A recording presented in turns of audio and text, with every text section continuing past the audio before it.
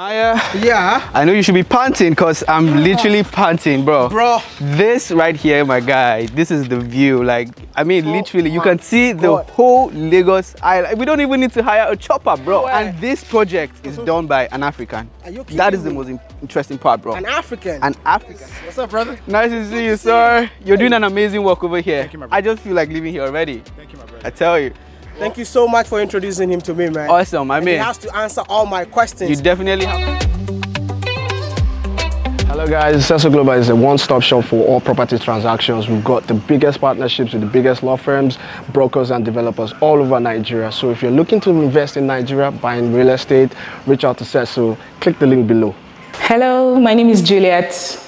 I work for Seso Global, and Seso Global Marketplace is actually a one stop shop for all property transactions. We help buyers assess very good properties and give them professional services. It's actually, we help you with the experience. And if you're a property developer, you want to target the diaspora market, I think you should contact Seso Global. Good to see you. You too. I mean, I just want to know who you are. My name is Wode Maya from Ghana, but hey, what is the idea behind this building? Because it's hard to get here, but the view is worth it. First of all, Wode, do you actually have to introduce yourself because everybody knows you? You have so many fans. You're known around the world. I think my mom even called me. I think she even said how far. She wants to come meet you. So after we leave here, we'll, we'll go to the village and we'll come and hang out with her. Okay. How's that? How's that for a No, plan? that would be fantastic. Cool. It's a pleasure to meet you. My name is here. my name is Joe Orji. Um, I'm one of the two partners of Brookstone. Um, uh, one of the two people who were crazy enough um, to try to do something like this, um, and we're part of a small company, and we're very proud to be um, associated with that company and all the people in that company who have worked very hard to create what is our fourth project, which is the Overlook condominiums. What was the first ever project? The first ever project, we started very small. We had four bedroom townhouses in Elegushi, literally a couple units that we started about five years ago. We finished those, went to a uh, mixed use commercial uh, flex office industrial project um, in uh, Sangotedo by Lagos Business School. Third project, which is the largest project. Um, we were development managers on a very large development called Landmark Village. And I'm going to take you there to meet the owner. By the way, we talked about that. Um, who is also uh, my former boss. Um, and, um, and then, so we completed the first couple phases of that. And then this is our fourth endeavor, the Overlook. Bro, I want to say you're amazing. But you said it five years ago. Yep, almost Well, six now. Almost, Almost six, six, now. years now. Yep. Six years ago, where were you? Six years ago, we launched the business and we were, you know, doing small, small things, just literally doing a little bit of this, a little bit of that. Um, and just to try to build up the business, try to build up the portfolio, try to build up revenue, try to build up a name. So um, when it just looked like things were taking off, um, I, I went to uh, went to my former boss, um, Paul. And by the way, you know, uh, you know, um, I went to him and I said, listen, um, you know, uh, Atareta and I are, you know, thinking about starting this firm, and you know, we think we're at the right place to do it now, and you know, and, um, and we'd like to to launch it. And he gave us his his green light. He gave us his backing, his support. Paul's actually the chairman of Brookstone. That tells you the type of relationship we've uh, we we have. So that's one side of the story. You over here? Oh, Ha! Uncle Paul! Ha! What's up, my big brother? How you doing? Good to see you. Great to meet you. Great to see you. He's telling me that his story won't be complete if I don't meet Paul. And neither will my story be complete. And certainly this story won't be complete if, if Joe was not here. Whoa.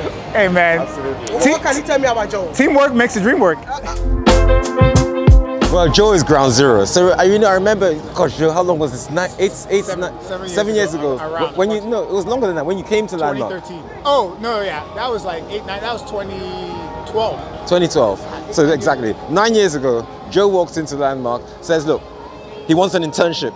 So he comes in with his American accent, comes in with a, a whole wealth and all that. And I look him in the eyes and I say, he wants an internship. So, you know, we pay him an intern salary and he gets to work, right? nothing, by the. Which is- yeah. You How, know? how much was the intensive salary? It was like 20, 20 like 25,000 yeah. he, you know, he, he spent he spent it he probably spent it before he got into the office.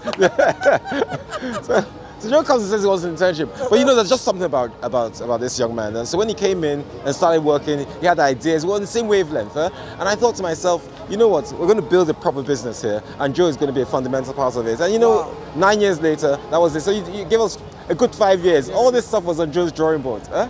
Um, so that's a good five years. So um, if, if there were three words I would use for Joe, I'd say he comes with passion, bundles of passion, bundles of passion, right?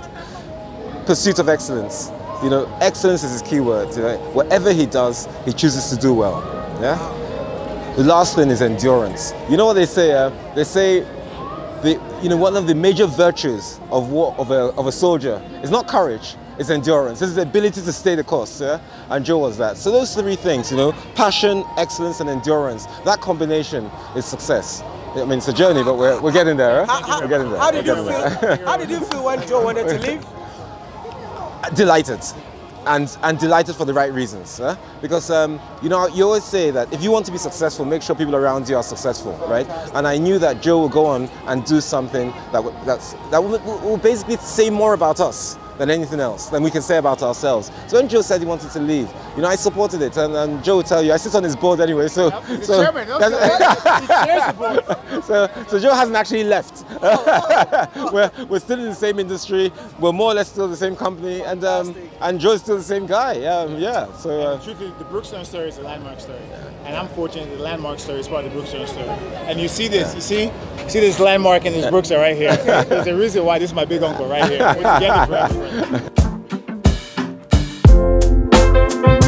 So then I, I also went to my wife and I told her, I said, listen, babe, you know, AT and I want to fully launch right now, you know, want to do this thing, you know, um, full time, everything, you know, you know, quit and every time, full thing. And she looked at me and she said, listen, are you an idiot? she said, listen, are you okay? She said, listen, we have, a, you know, we're planning for a family. How are we going to feed ourselves? You know, this and that. How we going to do this? You know, you know, this and that. And I said, baby, just trust me. I know what I'm doing. You know, uh, you know, I have this innate ability to try to plan this. Plan, plan what? What are you talking about? So, so my wife, she thought I was, she thought I was, I was, I was insane.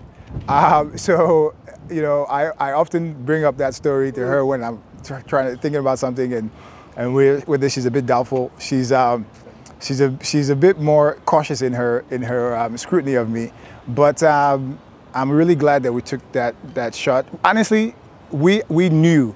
We knew, um, we, we knew 100%. Uh, we had no doubt that we were going to be successful because Wow. we just we just brought together kind of our knowledge. We brought together our experience, um, local, international, um, and we just we were we were we were ambitious and stupid enough that we can build something great. So the major keyword here is risk. Yes, um, you got to listen. You got to take risks to get. You grew up in Nigeria. I was born here. I was born in Port Harcourt. Um, Okay. We left when we were all quite young. We actually left in 1989. Um, my entire family, right? So we went to, moved to the U.S., moved to Maryland, um, and my entire family, right? So there's there's um, there's four of us and my my two parents, um, and um, so we, yes, so we, we left. I was eight years old at the time we left. Um, and uh, so my, I think my parents actually just saw what was happening in the country and they just saw things were, um, were, uh, were coming de- uh, de- debilitating a bit. So they, they took a chance, again, took a risk. And they were very fortunate. We, we were very fortunate because we got a lottery. We won, I think my parents applied and won the lottery and then we left to the, uh, to the US.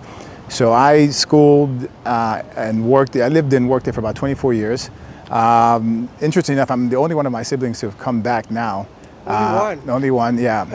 um, my brothers are still there.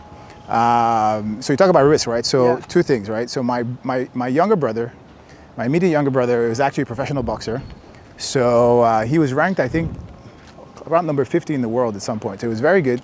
And he worked, gosh, it was in the gym every day for about five years to get to where he got to, or six years to get to where he got to. Um, and so he was, you know, almost at the peak of his um, kind of his his class as a boxer. And my sister, um, you may or may not know, um, uh, well, a lot of people know her. She's um, she's a very talented actress named Yvonne, and um, she's very famous. She's she's arguably one of the most famous. Uh, uh, black actresses right now um, around the world, and she had a massive special uh, on HBO, and she's um, she's also shooting her fourth season right Season. now, Insecure, for HBO. So That's your sister. yeah, that's what it is. So, um, so she, so it's cool to kind of talk about those accomplishments for, you know, whether it's my brother, whether it's my sister, whether it's us, but we've all taken risks. She worked for about 10 years, um, making next to nothing and hustling to try from one audition to another, trying to get one gig to another, and literally, and she, you know, when she was literally at her lowest, when she wanted to quit, when she thought that God was betraying her, um, it finally just clicked, and she she um, booked Insecure, um, and she's a massive brand. The rest is history. Uh, you know, very, and you know, so my brother had a very similar story. And um, for us, it was also similar, right? Because when uh, we took a risk, when we started this project, um, we tried to conceptualize something that would be different from everything else, right? Because there are a lot of apartment buildings, developments in Lagos. But we said, what's different? Um, what's going to spark an interest? What's going to create um, demand? So we looked around and what we noticed, because as I said, I worked with uh, institutional developers in, in, the- in the US for, uh, for many years. And um, I, I, I knew what they built uh, back in the US. And I also lived there for a long time. And I lived in these US style apartments uh, with other Nigerians, and they liked those apartments. Um, but you didn't, um, and many of those Nigerians came back here and uh, to, to Lagos and to Nigeria to live. But you didn't have a representation of those kind of apartments here in Nigeria. So we said, listen, let's. We took a chance to say, let's let's do condos, uh, which are American style um, apartments here in Nigeria. And and Maya, guess what? Everybody told us we're idiots. They said they said it wasn't going to work. They said, listen, is it is this America? Is this America? Is this it is Nigeria. Is, it, is this is it? Is, they said, listen, if you want to build American condos, go back to America. It's not going to work. So we said, um, yeah, we hear you. Thank you, you know, Mr. Man or Madame, but we think differently. So we rolled the dice. We took a chance, um, and now you know we'll be completed in a, in hope in a couple months, and we have five units left out of out of 30. So commercially, it's a success. I, I just want to know, yeah, let, let me understand in the first place why you decided to leave America and return to Nigeria. Because you're telling me that you are only one of your four siblings that returned. Yeah. Why would you do that? Because I'm an idiot. no, no, no, no, no, no. I mean, Okay. I think it starts with my parents. You know, my mom worked incredibly hard. She worked very hard to get to where she is. My dad is a is a really um, kind of traditional business person. So they, we, growing up, we learned a lot from them.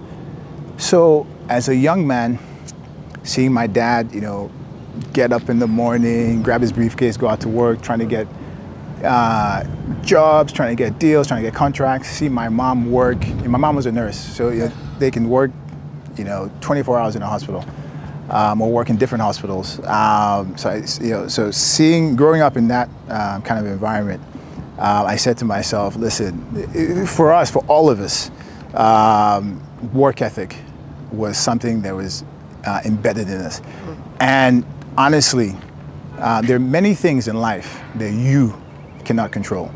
One of the things in life that you can control is your work ethic. So for me, um, whether successful or, or a failure, one thing that is within my power is my work ethic. So I knew that I can work. I knew that I could work hard. So I wanted to take more risks to earn more.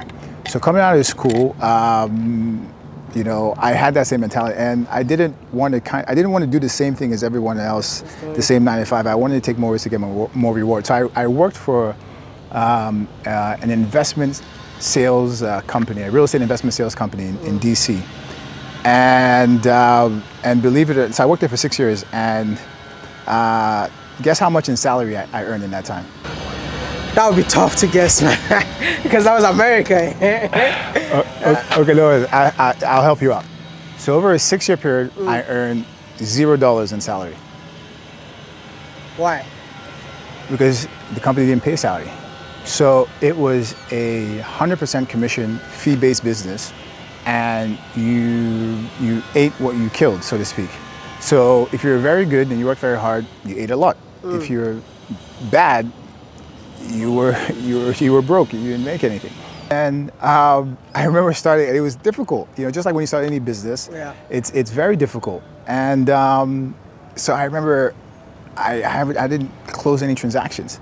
So my I, I remember I was down to my last twelve dollars in my Bank of America bank account. I remember this thing like it was yesterday. I was in I was so at this point I was still living uh, at home in my parents' house. So I was in my room that I grew up in uh, in Maryland, and I the lights were off. Everyone was downstairs. I remember I was just on my sofa. I was just cuddled like a baby. Like my knees were around my chest. I was holding my legs, and I had you know what I mean. I had no idea what I was going to do. Um, um, I didn't ask my parents for money, so they had no idea I was in this shape. They saw me going to work and come and going and coming every day. So, you know what I mean. They asked me how's everything going. I said it's fine. Um, but you know what I mean. I was about to be penniless. Um, and but I never gave up. I never quit. I never, um, you know, asked um, asked my parents for help, except for the help they're, they're already giving me, which is living in their own houses. Um, so I just kept at it, and one thing led to another, and I this. I closed this crazy deal with. It was I did I structured this very interesting transaction where I, I, I closed the transaction. So I held the fee on the transaction, but I also held equity stakes on the entry and the exit of this transaction. It was a kind of a like a multi-party, um, uh, multi-tranche uh, uh, fee structure for me, and I did really well. And and boom, that's how the whole thing started. And that was probably about 2005-ish, thereabouts. And uh, it, that's when you moved to Nigeria? no, so so I, I so I, I worked in that job to, uh, for about six years or so. I went to Georgetown for business school, um, and but between uh, uh, working and business school, there was the financial crisis, and we all know about the financial crisis. And if you're working in real estate in the U.S. in the financial crisis, you witnessed and you experienced incredible highs and tremendous lows. So I experienced tremendous highs and incredible lows. Um, you know, I went from earning a lot of cash to losing everything. Um, literally. Um, so, and, uh, and that was around 2008 because the crash, the thing started changing in seven, and by eight, 2008, I, again, I was penniless. So I said to myself, I said to myself, this real estate thing It's it's too hard. This, it's too difficult, you know. And I, I was trying to figure out what I want to do next. Um, and I got, I got to tell you this. I give my parents a lot of credit because, you know, we moved to the U.S. when we were very young, but like solid Nigerian parents, they never let us forget where we were from, and they always told us, "Listen, you're Nigerian." And they they beat that into our heads and they embedded that in our heads and they did it, and I give them a lot of credit for that. With kind of that um, sense of home in, in, in, in my background, um, I was researching and trying to figure out what it is I want to do. And every time I read about Nigeria, literally my heart my heart would skip a beat, you know. And that signaled to me, um, as it should to everyone, that there's a there's a there's a keen interest there. Um, so I was doing some research and I was really fortunate because um, a family friend um, was a higher up at Fidelity, so I got an internship there. This was before I started my MBA. So I came, did a pre-MBA internship, really liked it. First time I worked in Nigeria, so I learned a bit. And when I did that, I said to myself, you know, that's when it, that's when it, it hit me. I said, Nigeria is a developing country. So I have a chance to do development in a developing country. So I would basically have a chance to, you know, kind of ride the wave with Nigeria as it goes up. So, um, so I, I, so again, I, I took that decision. I took that uh, decision. Listen, I want to come back and I want to work in um, in Nigeria. So then, finished my first year MBA, got an internship at Landmark. Um, worked there. It was really cool. Worked on some pretty cool projects. Um, you know, met Paul, uh, met uh, Deborah. I worked with a bunch of people there. Had a great experience. Um, uh, they were crazy enough to want me back. I was crazy enough to want to come back. Um, so, uh, so yeah. So they brought me back after my MBA. That was 2013. Um, and um, and yeah, so so back again to the risk thing, right? Because the truth of the matter is that America was kind of already, um, it was already kind of known what would happen there. Um, I knew the kind of income I would earn. Um, I knew it's a structured environment, so I knew, you know how things worked. Um, in Nigeria, I didn't have as many friends, didn't have as many contacts, didn't know as much about the country. I took a massive pay cut, but took a massive pay cut to come back to uh, Nigeria. But I said I did it for really one one rationale. I said I'll take a few steps back, and I believe that over a five-year timeline, I would have leapfrogged where I would have been in in America. So you basically again taking risk to take a return. You're living in Nigeria right now. I mean, if you had the chance to change one thing in Nigeria, what would it be? Uh, good question. Um, so, like, it, it wouldn't be one thing; it'd be three things, and it's the three E's that I call it. Uh, it'd be um, empowerment, entitlement, and um, and education. And I think it was Clinton. I'm not sure who said that if you want to change Africa in, in the developing world, um, you give them education. Because I think that if we're more educated people, um, I, I just think we, we'd. Um, I think we'd be more empowered to do to make some changes, right? So to go to empowerment, um, so the two go hand in hand, and um, I think that as an empowered people, because a lot a lot of folks complain a lot, you know, about Nigeria. I, I do. Um, guilty as charged. You know, you probably complain a lot about Nigeria as well. You're not even Nigerian. You know what I mean? We need lights. yes, we, we need a few things, you know, but, uh, but, but then empowered people don't just kind of sit down and complain about it. They get up and, and they, they, they, they do something about it.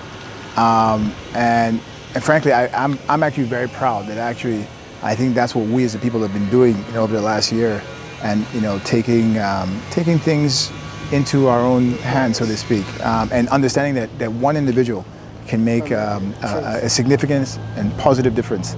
And the third thing is, um, is entitlement. I th- uh, unfortunately, I think a lot of folks here feel that, um, uh, that it's their right to have certain things. Uh, and, you know, I tell my folks all the time that um, um, you know, things aren't given to you, they're earned. Um, and I tell them that, listen, you know, uh, you know, nothing is given to us as a firm, and that Brookstone earns this money the old-fashioned way. We earn it. Um, um, so I say that, listen, don't, don't be, um, uh, don't, don't, don't think that you won't get your fair due. And I say, I tell them, don't worry about politics in the office or anywhere. I say, just, just um, showcase your talent. Because the truth is that you, you know, you can't deny talent. So if you're good, it'll be recognized. Whether your current place or somewhere else, but, you know, it'll, it'll be recognized. Do you think there are opportunities in Nigeria? Yeah, I mean, um, I think 100% because, again, because it is a developing country, um, there are opportunities for development across many different sectors. Or the challenges that you faced in Nigeria or something when you go here? Because you said it's not going to be easy, there are difficulties. What are the kind of challenges that you face when you go here? How much time in your show do you have? Because, because we could talk about this Uh, no, I mean, like, Come. give me major challenge that you face when you go back because people need to know.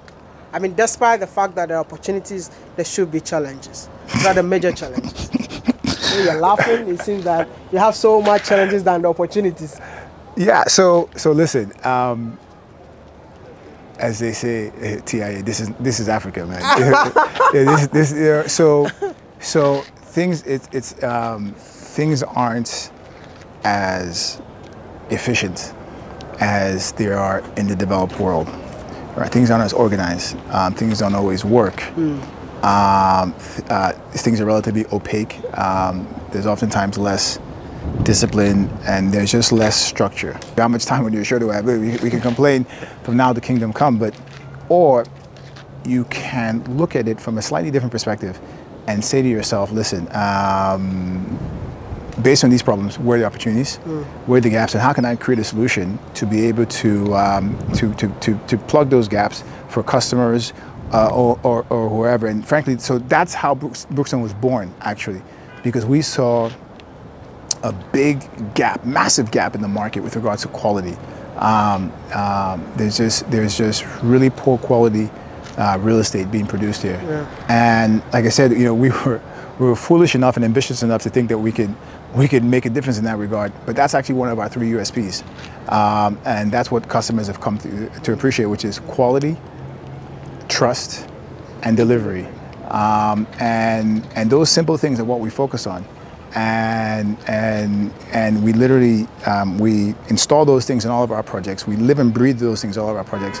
So when people come to our projects, they're they're they're blown away, and they actually they ask us. They say that we're overdoing it, but to us, you know, uh, we feel that the customers actually deserve that. Yeah. Yeah, and I think the market deserves it. So we're actually very proud of, of those remarks. I mean, he said it's remaining five units. Yes, And, that's um, correct. how can we buy that five units if we want to support you? Where do we find the link to buy those five units? A couple places. First, you can go to our website, uh, brookstone-property.com. Um, you can also check out our partner, Seso Global, um, as well. They have uh, uh, our listings and a bunch of other listings. Um, they're very, we're very happy and proud to, to be partnering with them. Um, and thirdly, you can also go to uh, Wode Maya's website. You, know, you can check us out. You know? Thank you so much for My talking pleasure. to me. I appreciate your time. My pleasure.